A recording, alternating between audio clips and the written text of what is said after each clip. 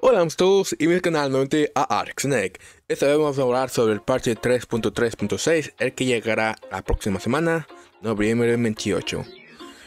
Tenemos a Liam, obviamente es nuestro defensor de tipo fluido legendario, el cual dice que se enfoca más en un solo enemigo.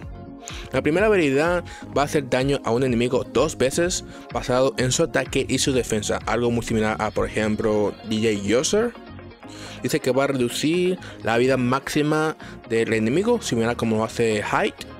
Y a su vez va a curar al aliado con la peor vida.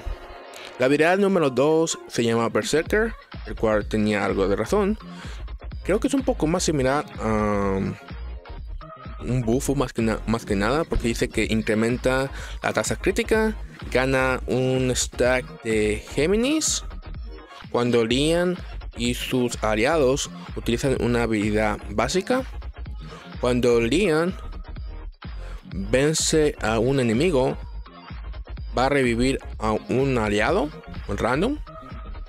Va a restaurar porcentaje de su vida basado en los, en los porcentajes de su vida máxima solamente una vez por batalla. ¿De acuerdo? Dice que Géminis incrementa la velocidad y la defensa de Liam, el cual estará estaqueable y que no se puede remover en turnos consecuentes. Eso me recuerda demasiado a lo que es Q directamente es casi lo mismo, en el cual mientras esté como activa digamos este tipo de buffo, si es que es un buffo o una, una pasiva, ah, vamos directamente a acumular y acumular daño y defensa, daño y defensa. Pero en este caso es directamente velocidad y defensa. Por lo tanto, llegará a un punto en el que seguramente Liam se moverá rápido y va a aguantar demasiado. Y gracias a que su defensa va a ser su daño, va a ganar mucho más daño.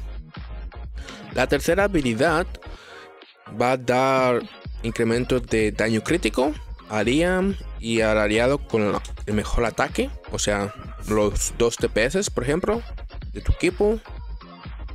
Va a quitar sus debuffos, haciéndolo algo débil contra Tricky, por ejemplo.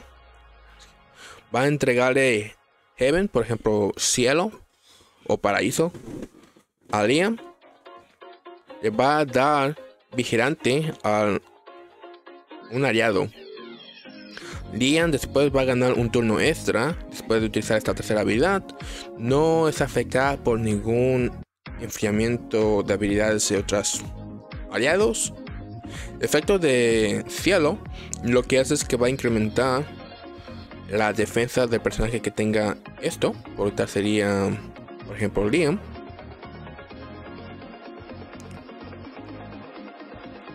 Cuando Liam activamente utilice su primera habilidad, va a llamar a un aliado con el buffo de vigilante para hacer un ataque de asistencia con sus habilidades básicas. Uh, me recuerda demasiado a Sean Pin, o si no, um, Alicia.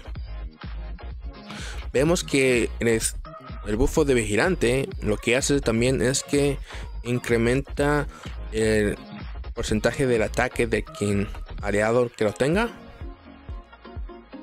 Cuando el personaje aliado utilice sus habilidades básicas, va a llamar a un aliado con el buffo de Heaven, o sea, va a llamar a Liam para que Liam utilice un ataque de asistencia. Ok, ok, ok.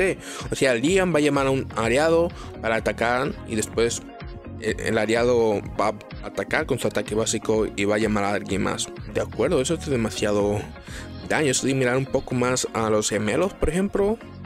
Más que nada. Vamos a ver que su resonancia número 2. Eh, después de activar. No, después de, después de comenzar el combate. Esta es la tercera habilidad. Los ataques de Liam va a ignorar cierta defensa del enemigo. O sea, no va a hacer daño verdadero, pero cierto porcentaje será ignorado. Si Valeria está en el equipo y ella recibe el buffo de vigilante, el daño de las habilidades básicas de Liam, tanto como de Varea, serán mayores. ¿De acuerdo? Me gusta esa mecánica. Su resonancia número 4. Hasty Action. Si hay una habilidad en enfriamiento, más 20 puntos de velocidad. Resonancia número 6.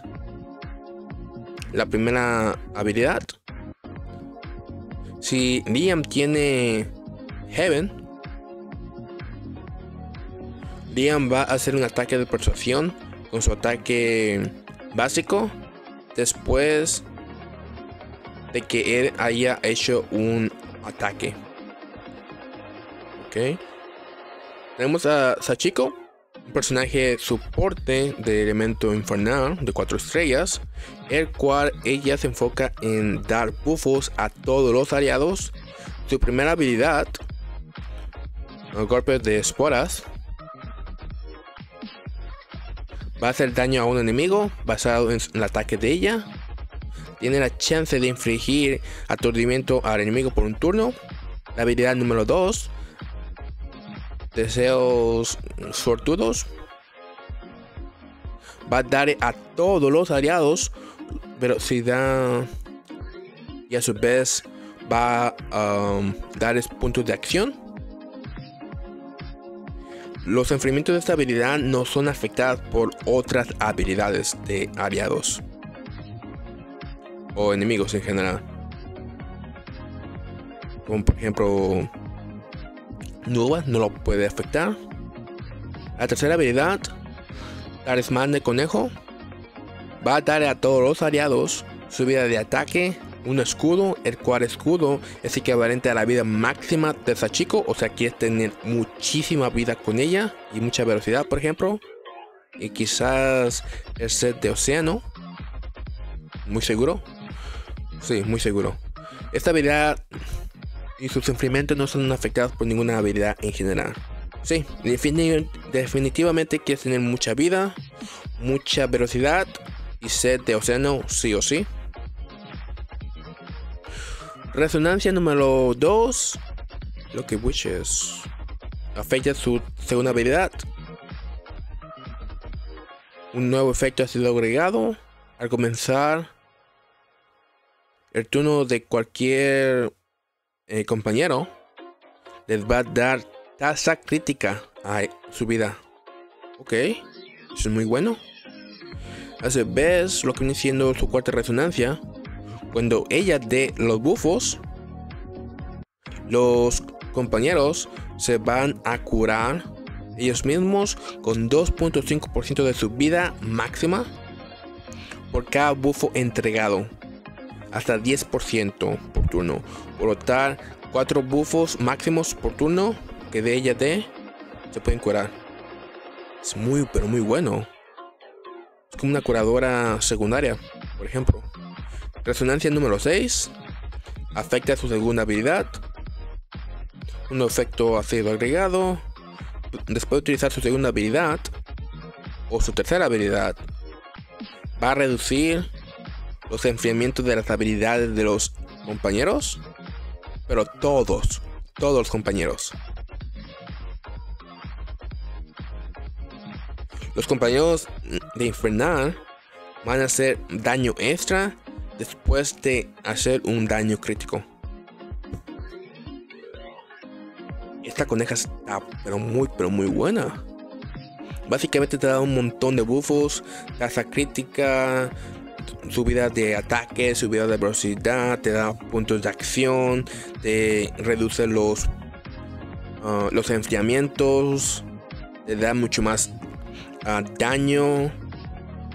Eso es básicamente una mejora de tío uh, Che, honestamente. está muy pero muy buena. Se puede conseguir, desgraciadamente al no ser personaje de evento, A conseguir esta a limpiar el capítulo número 2, episodio 10 de la historia. O cuando lleguemos a cierto nivel, cierto rango de puntos de guerra, después de esta actualización. Y se nos va a dar una copia en, el correo una vez hayamos hecho estos metas, por ejemplo. Tú como yo que estamos ya a finalizar el juego, si llegamos a estas condiciones, vamos a recibirlos en el correo, por ejemplo. Después de esto vamos a tener lo que viene siendo la tienda de las skins, la cual podemos conseguir puntos a través de ciertos rangos en los puntos de guerra, el knockout y el farseto fantasía. O en futuros eventos. Realmente estoy buscando en esto de futuros eventos porque depender en rangos altos no es tan fácil, honestamente. Dice que solamente podemos comprar las skins que no tenemos ah, disponibles, por ejemplo. Eventos que no son los eventos principales, son los secundarios, los que podemos conseguir nuevos ah, recursos, el cual es directamente el, Hunter's Depot, en el cual al gastar estamina vamos a conseguir puntos, los cuales puntos podemos canjear por cositas, como por ejemplo Sí, cositas. No, sé exactamente qué cosas, pero cositas en general. También tenemos otro evento en el cual es el gacha boom boom. En el cual igualmente después de agarrar ciertos ah, puntos podemos conseguir uh, canjearlos por discos dorados, cristales y cositas incluyendo. También tenemos el Scratch Off, el cual es como el boletito de lotería el cual tenemos que hacer puntos de guerra para poder conseguir puntos y sacar cositas. Desgraciadamente la mayoría de casos son basura, pero podemos ser afortunados, sacar abrimos legendarios, disco de oro, cristales y otras cosas. También tenemos el Royal Flash, el evento de Arcana, en el cual también podemos sacar cositas, por ejemplo. Tenemos de personajes disponibles a Leo, a Ginny y a Ethan. Ethan es un personaje que honestamente creo que no ha estado disponible después de su... Sí, de su banner hace 8 meses. Así que después de 8 meses tenemos a Ethan disponible y completamente es un buen personaje en resonancia número 2 para aquellas personas que no quieran. Igualmente Genie se ve muy show su valor en resonancia número 2. Desgraciadamente Ethan diría que vale mucho más la pena y diría pues parece gustarme de momento. Una vez llegue ya a la actualización vamos a ver uh, sus enfrentamientos y cómo son los porcentajes tal cual y a ver qué tanto funciona él. Pero de momento yo diría que Ethan resonancia número 2 muy buena inversión. En personajes de brillo tenemos a Sean Pin, un personaje pero muy pero muy bueno. Es creo el mejor personaje soporte ofensivo. Optimizaciones, por ejemplo, tenemos lo que viene siendo los la nueva historia son 12 capítulos completamente originales, se puede decir. Y los que tenemos hoy en día se van a poner en lo que viene siendo el Atlas para personas que quieran todavía conservar y leer la nueva historia o la vieja, por ejemplo. También utilizaciones en el cual podamos vender las piezas, por ejemplo. Más de 100 piezas.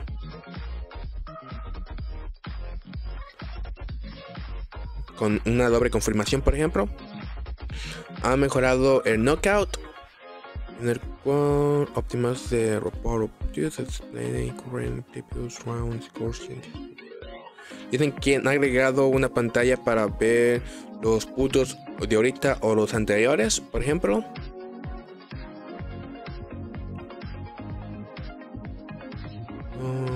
Play neighbors never eh, estas cositas ya las voy a restartar. Han cambiado igualmente cosas del Point World first time. Area weekly tally free screen the countdown total.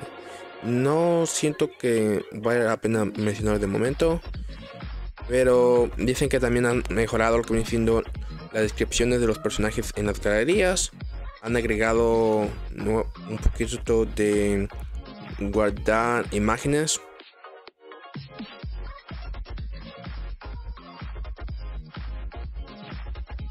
Oh, espera un momento. Podemos guardar imágenes, lo cual nos permite localizar nuestros personajes de galería de forma vertical y que pueden ser compartidas en nuestras redes sociales. Me, interesa eso.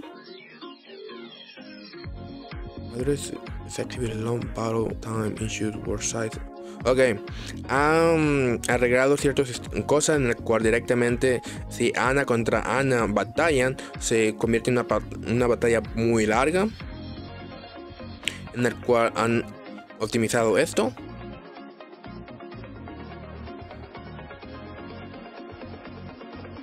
The player full.